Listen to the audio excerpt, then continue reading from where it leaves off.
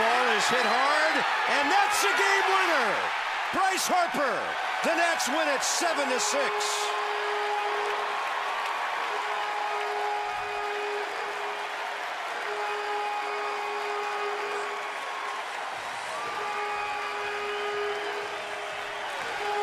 And Harper with his second opposite field RBI single of the night.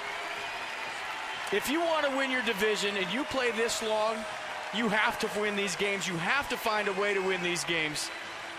And just another clutch hit from Bryce Harper, the first of many walk-off knocks. They go to 17 and 9 at home, 13 and 7 in their division, and more importantly, folks, they stay in first place. What a ball game.